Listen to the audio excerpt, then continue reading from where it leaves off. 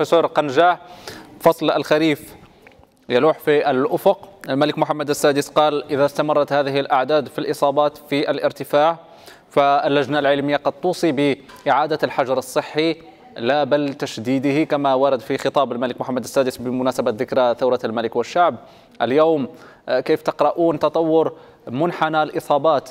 هل نحن ماضون إليه بشكل حتمي هذا الحجر الصحي؟ لا بحال قلت لك أستاذ محمد قبيلة مازال عندنا الوقت اللي يمكن لنا ومازال عندنا الوسائل اللي يمكن لنا نسيطروا على الوضع. شوف كاينين كاينين جوج حوايج. إما غادي نسيطروا على الوباء إما غادي يخرج على السيطرة.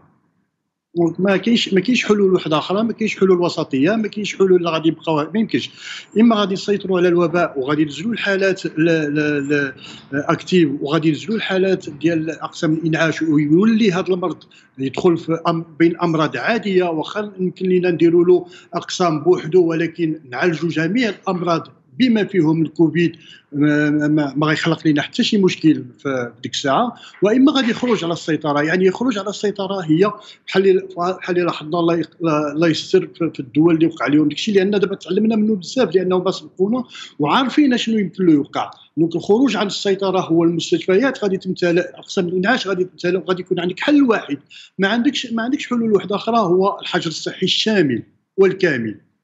اللي حتى واحد ما يقدر يبغيه حتى واحد ما يقدر يبغي يوصل ليه donc الحل بين يدينا حنا هذا هو اللي هذا هو اللي اللي ال message ولا ما حدو بين يدينا ما حدو بين يدينا الحل ما حدو بين يدينا حاليا الحل مازال بين يدينا وحاليا كنشوفوا مثلا بعض المناطق أنا كنتبع عن قرب مدينة طنجة طبقوا فيها بزاف ديال ديال الإجراءات في الأول ملي كانت فيها فيها ليبيديمي أوبيك.